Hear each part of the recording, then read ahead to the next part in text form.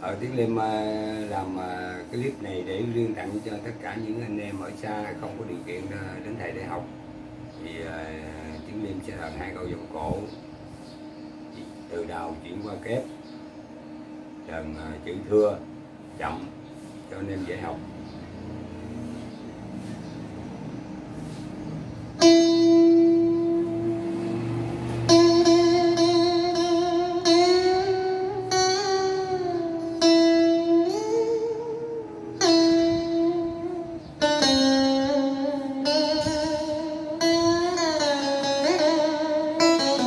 Yeah.